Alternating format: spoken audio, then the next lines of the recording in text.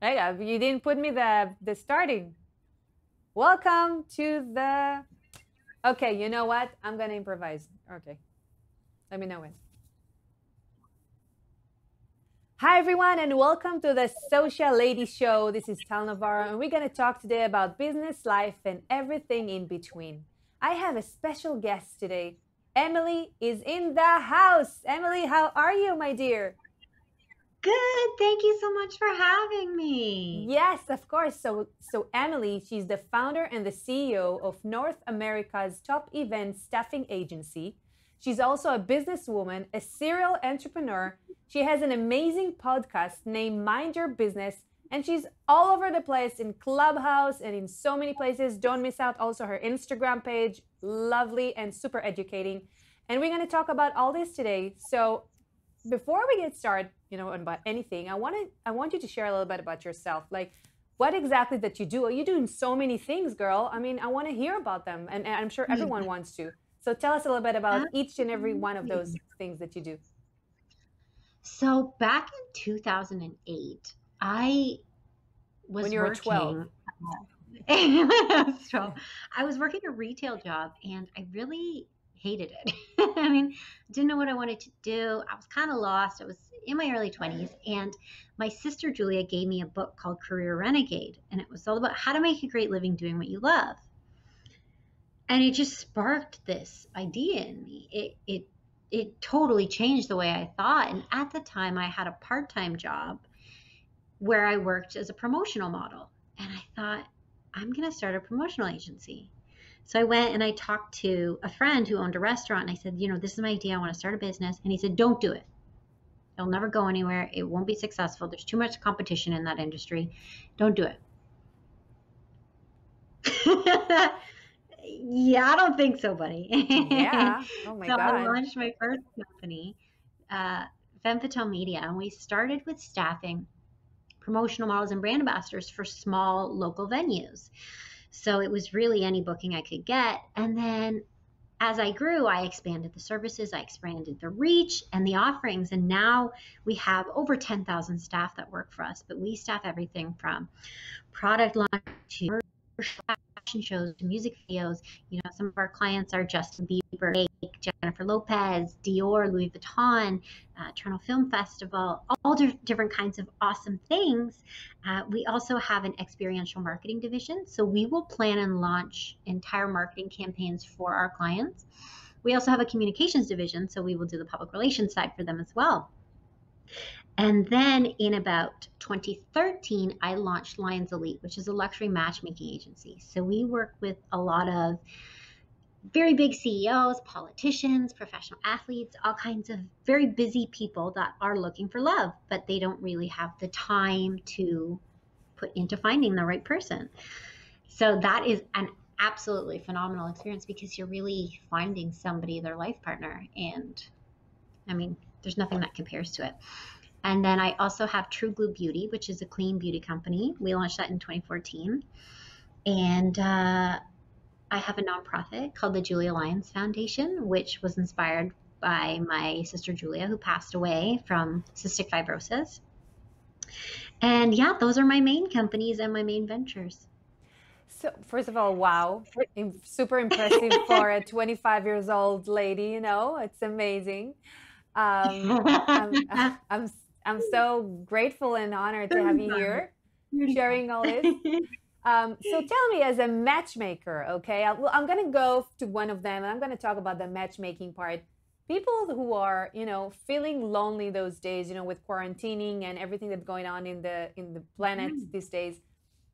Is it how? What is the best place on digital on online to find love? Do you think that is it easier or harder to find love on the, the social media apps or, or or it's not? I mean, you you're the expert, know, so What? Right now is the fantastic time to find love because so many people are working virtually. So they're spending a lot more time online. They are focusing a lot more on finding somebody because it's changed all of our mindset right now, right? And it's putting us back into what's important. And for a lot of people, that's finding a partner. It's also opened up people's schedules because they're not going to meetings, they're not going to parties, they're not going to events. So they have a lot more time to focus on that. Finding someone online, I would never say one app, one thing over the other because never put your all your eggs in one basket. Try everything. Reach out to someone on social media if you see them. Strike up a conversation. Go on Clubhouse. You know, sign up for the dating apps. Put right. yourself out there. You'll never know unless you try. Also, you can get on a lot of matchmakers' databases just join their free database and you never know who might be a client of theirs. Yeah, that's that's great great advice for whoever is looking for love out there. Um, how mm-hmm. did you start your business? Like, what was the first? Which first of all, you know, uh, you know, as an entrepreneur, I know we always have ideas and new things we want to achieve. You know, I've been doing gazillion things uh, at once, and I know the feeling. You know, of you know, how do you stay mm-hmm. not overwhelmed with um, not jumping into every idea. How do you know which one is going to work or not going to work? I'm talking for you know I'm, I'm talking behalf of all the entrepreneurs out there that are really curious how did you manage to uh, succeed with so many so many different assets so, so many different companies? How, how do you like, how do you find yeah go ahead I always like to to uh, test the market in some way and see the reaction because they will tell you. You might have the best idea ever, but the market might not be ready for it. Um, so I like to really, when I'm starting a new idea, keep my overhead as low as possible until I see money come back, and then I invest that back into the company to scale it. But um, I mean, with my first company, I didn't spend money for years after making it. I mean, I worked from home for as long as I possibly could before I got an office space. I didn't hire my first employee until three or four years in uh, because I wanted to ensure that it was going to be able to continue on its own. And I didn't want to put out all that money. But I think that's what's really important is to test your market, see what works, keep your overhead low. That's always been something that I have lived by. I don't splash out on big fancy things that we don't need. I mean, support your staff, support you, I think are the most important things to put your money back into. But yeah, I would really say test your market if you're trying something new. Amazing. And uh, I know that you're keeping, you know, your online presence uh, super duper uh, great. And um, how do you how do you get to keep all that going? I know that you're in Clubhouse a lot, you know, time management. I mean, um, you know, how do you keep, uh, you know, and also you need to learn and involved and grow, you know, with your role and with your uh, your companies and on the same time you have to be present on Instagram and do the reels and do the the show, you know, and be on Clubhouse and talk everywhere and appear on every stage. How do you manage to do all that? Are you multiple yourself or are you like they're cloning yourself or how what's the secret? I think multitasking is really important. So I go for a walk every day and while I'm on my walk, I'll do Clubhouse or I'll update my social medias but really time blocking. So I'm like a dog when it sees a squirrel. So I'll be doing something and then I'm just like, ah, squirrel, onto another task and forgetting what I'm doing. And then the next thing I know, doing a million things at once. My tabs, I've got 50,000 of them open on my computer. So every day I get out a productivity planner and I write down my most important tasks for the day. And then I do those first. So they're out of the way, they're done. I know that they're taken care of. And then the rest of the day, I have other things I want to get done. But if they don't get done, it's not the end of the world. So, I mean, that might be social media that day, that might be getting on Clubhouse. But really, I've gotten those most important things done. And I think that a, a, lot of the tasks that we have to do just get dragged out. They get dragged out because we get distracted, or, you know, we've had this pulling at us, that pulling at us, and we're doing so many things that we don't finish a task and just close that off. So, I think it's really important to just, for undistracted, for the first few hours of the day, eat the frog, get the worst ones that you, you keep pushing off, done, out of the way. And that's how I really do it. So you work a lot with a calendar, you blocking time. I work a lot with time blocking, putting my phone on um, on airplane mode. But you know, your brain works best in 90 minute intervals. So if you have a task and you set, I'll set my timer for 90 minutes and I shut everything off so that nobody can bother me. And then I'll do that task, I'll take a break, and then I'll go on, and then I'll start the next one, or I'll finish it if it's not done. But either way, I'll take a break so that my mind's fresh, that I'm still attacking it, and it's not getting dragged out. Because you want to use the time that you are using efficiently and effectively. You don't want to be doing anything half. Where do you find time? So. I don't know. I'm telling you, I don't. I'm like I'm blocking time, but it's still the the there's always what to do in that blocked time, you know. and I have a mm-hmm. baby too, so it's like on top of all of, of everything. but uh, great, that's that's a good, super important, you know, that you put your phone on air mode, and I think it's a good advice for everyone out there, you know, that want to manage their time. Sometimes you need to really give a break to the phone, especially when you sit mm-hmm. hours and hours in front of a computer which like I do, and I guess a lot of people do, mm-hmm. especially in this COVID. And i have been doing it for all my life, so I can totally relate to that. Um, did you know? Like, I wanted to ask something else. You know, I can see you as a young little girl. You know, um, and because uh, you, you you still at that age, you know, not all like me, but you. but um, so where did did you feel like and your entrepreneurship since you were very little? Is it something that you gained with time, or when did you start to feel that you are, you know, uh, what did you want to do when you were young, really young? I mean, really small girl, you know? or entrepreneurship was never something that I had ever thought of as a child. I thought it was something reserved for like the rich and the famous, or somebody who came from a wealthy family, or their parents were business owners. It never once crossed my mind. And if it had, I wouldn't have thought that I would be capable of that. You know, I I didn't think that I was really that I didn't have any belief in myself, I think. But um, when I was a kid, I wanted to be everything under the sun. It seemed to change every year from a vet to a dental hygienist to this to that. And I really had every job under the sun. I mean, I went to Australia to be a nanny, I was a cleaner, I worked on a farm. like I've done everything in between. So it, it, and it's it's turned out great because now as a business owner, you have to wear so many hats. So I mean, it was it was training back then. amazing, amazing. You know, every experience you connect the dots. You take all the experience and you create, you know, created a little empire from it. This is beautiful. Mm-hmm. I'm so happy to hear mm-hmm. that. Um, and what are your hobbies? Do you like to? What do you like to do in your free time, right? Yes. uh, I like to spend time with my partner Ryan. Um, I like to cook. You like to read. cook? You know what? Yeah, I like to cook. I love but it. You know what? I, I have a love for cheesy romance novels. Ooh. like I, I don't it. know. I I somehow got read one a few years ago and I was just hooked. So uh-huh. if I have time, I will dive into a romance novel, like Me Before You or The Notebook. The Notebook. Like oh, I used to love this book so much, and I saw the movie as well. So, oh, ah, you know that I dedicated to one of my ex this the Notebook. I told him one day we're gonna meet. You know, one day we get we have to split now, but one day we're gonna meet. I'm sure. I feel it. Never happened. Thank goodness. Yeah. That's amazing, amazing. Well, you should definitely come to. I don't cook at all. I I'm married to a private chef. So oh I, yeah, that's right. Yeah, yeah. So I'm I'm I'm very bad. I don't, yeah, I I bought I, I I burn an egg.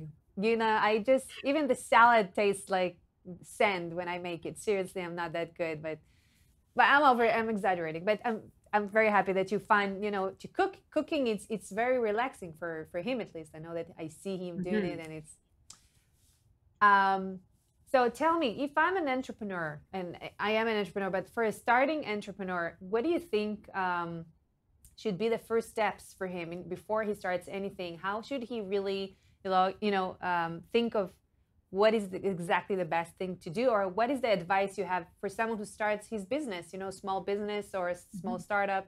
What do you think are the first steps that he needs to be done before he's uh, jumping in the water and starts to swim or trying to swim? What i like to do is really have an idea of where i want to go. So have a vision you know i take a piece of paper and i did this from the very beginning and i would just wave if I could wave a magic wand, where would I want to see this business go? Where would I want to see it take me? And then business, I think, like life, is just problem solving. Now you just figure out how you're going to get there. And I remember when I first started my company and I was doing this and I thought I will be happy if I just make 35,000 a year. and I thought then I'll be content. You know, I hmm. could get by, live in my little basement apartment and then and stay there know, forever. then it, and then it was like I'll be happy if I can make six figures, and then it was I'll be happy if I can make seven figures, and it just kind of goes and goes and goes until your purpose becomes something else deeper than than monetary. But hmm I would think at the beginning, definitely have an idea of where you want to go. And eventually knowing your purpose. Why do you want to go there? Because that was something else. I mean, as I hit these, hit the figures and hit the goals, it was like, okay, well, why am I doing this? And then I started to learn, well, my purpose is to give back and it's to really help people and to help my family and help younger entrepreneurs that want to come up and support people through my nonprofit and so that was a whole other purpose and that was able to also help me level up to a whole other level because on those tough days when i didn't want to work really hard long hours that was like okay no i have a purpose bigger than me so Mhm. those are things some things i would say is find your purpose and know where you're going I love it. This is so true, and it's it's it's so inspiring. You know, a lot of people listening to us, they're really starting their you know their journey, but not everyone does what he loves, and that's really to find a purpose. It's so important, and I totally agree with you. This is a, a very good point. How did, by the way, the COVID now? You know, how how did it affect you? Did it affect anything on your business? Do you feel like did you feel do you feel like it's a, it's affected entrepreneurship in general people who want to start a small businesses or or is it something that is it good or bad for business what do you think about it? i it think it really depends on what industry you're in uh, i'm really glad that i've diversified and i have more than one company because my events agency obviously that got shut down so within a matter of 48 hours we had hundreds of events canceled we had to lay off our whole office staff for that and close down one of the offices so luckily, I was able to offer a lot of the employees the option if they wanted to go to another business. Uh, how I see things with adversities is really an opportunity, an opportunity for us to look at things from a different lens. So, how could I do things differently? You know, now that I have this, again, problem solving. So what I did is I went back and I found ways to pivot the company. So we introduced safety staffing. So now for corporations, we'll provide staff that will uphold, you know, physical distancing. They'll do the, all the different safety procedures. But really, another thing was is I could really focus on other things that I have been putting off. So I was able to finish my book. I was able to to do all kinds of other things that I really wanted to do but just couldn't. And that made me so ecstatic because it was it was so refreshing and i saw how uh, burnt out i was with the events company and so caught up into it but i think that's the really beautiful thing about entrepreneurs is that they are able to think differently and so when these things come up we are able to pivot or to see different options options or opportunities that we can go with or take our companies. And so that's the beautiful thing about it. If there is a beautiful thing about COVID, is that it's given us the opportunity to to see things differently and come up with new ideas and and so that's what I've done. absolutely absolutely so true and this is great that you took it and you made gold from it you know and it's great um, wanted to ask you one more thing before we wrap up. Um, if you were, first of all, b- before I'm asking you this question, I want to hear more about your podcast. I know you have uh, an amazing podcast that you are. Uh, tell you tell me a little bit more about it, so It's people can, and, and also where we can find it, so people can come and hear it. Absolutely. It's on iTunes, it's on Spotify. It's, it's on anywhere where you can stream a podcast. With your name, Uh, Just with my name, yep. your name. It's Mind Your Business with Perfect. Emily Lyons. hmm So I talk to a variety of different inspiring people. So I really think that all inspiring people are inspired people. You know, a lot of us have overcome all kinds of adversities to get to where we are. You know, people see the end product, but they don't see the journey there. They don't see the struggle. People see someone and they think overnight success, but that is never the case. There's usually years and years and years of trial and error and failure to get to where they are. So I really share a lot of those stories and just a just a whole variety of people that I just genuinely find inspiring and interesting and how they can help other people get to where they want to go or improve in a number of different ways. And I really love doing it. It's it, it was a, a passion project and I wasn't really sure. You know, I thought maybe I shouldn't start a podcast. So many people have it. It's so popular. who am I to do it? And then I thought, now who am I not to? Like Right. you, you like it, so just do it. And then after we launched, we were trending on the top charts of iTunes. I was like, Amazing. I don't want to do this. You know, and that's I thought was just a testament is because it doesn't matter how many people have done what you've done, you can do it differently because it's you. We all have something unique to bring to the table, all a unique perspective and voice. So it doesn't matter if there's a billion podcasts, you do it as you. And so I love it I- so I love much. that. I love it so much. I mean, I, I can totally resonate with you. I I took long time before I started my podcast, and I'm like a late bloomer. But I because I said the same thing, you know, who's gonna listen to it, you know, and who's gonna, you know, who- there's so many out there. What am I gonna bring new to the table? But every episode is something new because it's me in the episode, and also my conversation with the other person is is different Mhm. than any conversation he will have with someone else. So I love that point that you just brought up. And um, where where can we, can we find it on your uh, Instagram as well, or is it like you can you find it on my Instagram, on my website. It links to it. Okay, perfect. Also, another question for you. As a beautiful, strong entrepreneur woman, you know, in this world, it's it's not always always simple to be, you know, a, a, strong woman, you know, in this uh, male-dominating world. Um, do you feel that um, there, there was a change in the last few years? Do you do, how how do you approach to all that the fact that you are uh, a real strong and dominating and alpha woman that make her own money? Um, what is the one tip or one approach you, you can bring to any of our listeners out there? Because i know a lot of women are looking up to you and they would say oh i want to have the same. How do you even start? You know um, maybe i'm not that good. Maybe I'm, i am that good what do you think about it what do you want to say something to all these women that are looking up to you now I've absolutely found a shift in the last few years. When I first started, it was a lot harder to be taken seriously. We lost out to so many bids that, that we were we were fighting to win because it was a male owned company and a lot of the males that worked with the potential clients were friends. They would go golfing together. There was this brotherhood and just in the, all the different things I found it very hard. I mean, this is going back 11 years to be taken seriously as a woman in business. But as it's become more common, it's become a lot easier to be respected as a woman in business. And something that I say to young entrepreneurs is to find a way to use that as a positive. So we as women can see things from a different angle. We can do things differently that a man wouldn't do. So when I was entering into a male dominated world, I was also entering as a very young woman. So I was in my early 20s, and a lot of these people that were running these companies were 40, 50, 60 years old, and they had been in it forever. And so I remember walking into this huge uh, bank. It was this huge office, and I was going in to bid on this huge, massive campaign. And the guy turned and he looked at me and he goes, You're the owner?